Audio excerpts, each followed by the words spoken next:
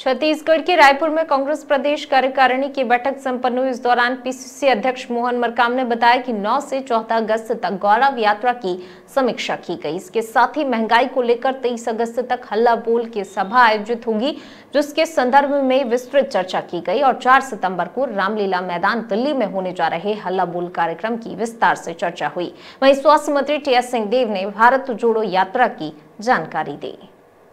बैठक आज आयोजित की गई थी जिसमें 9 अगस्त से 14 अगस्त के बीच में जो आज़ादी गौरव यात्रा थी उसकी समीक्षा जिलेवार की गई।